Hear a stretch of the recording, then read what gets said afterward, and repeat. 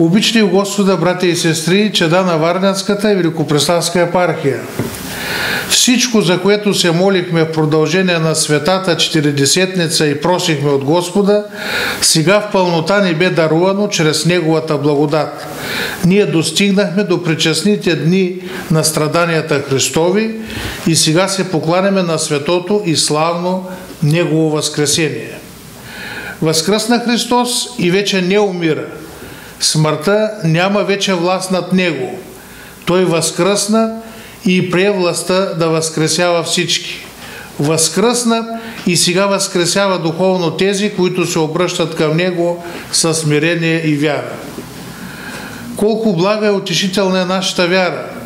Какво велико щастие да бъдеш християнин. Къде има толкова светлина и живот, колкото в Евангелието? Къде има толкова упование и утешение, колкото при кръста? Ние, които сме християни, носим кръста на гърдите си и празнуваме Христовото възкресение.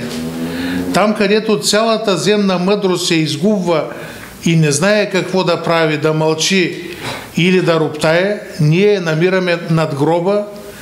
Там християнската вяра най-вече показва своето божествено действие, озарява, утешава и дава живот. Кръстът, който стои върху нашите гробове, говори много повече за предназначението на човека, отколкото всички философски системи. Нека да познаем нашето съкровище и да се научим да го пазим. Нека не бъдем лекомислени, люлеяни, увличани от всеки вятър на лъжливо учение, по лукавството на човеците, по хитрото изкуство на измамата, а с истинска любов да растем по всичко в оногова, който е глава Христос.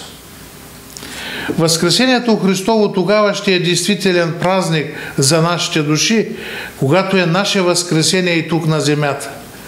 За да бъдем силата на Възкресението, най-вече е нужно да имаме мир помежду си и братска обич, защото по това ще познаят всички, че сме ученици на Възкръснали. Обични Господа, братя и сестри, чеда на Варненската и Великопреславска епархия. Всички ние имаме голям дълг да бъдем истински благовестници на Възкресението и на море по целия свят.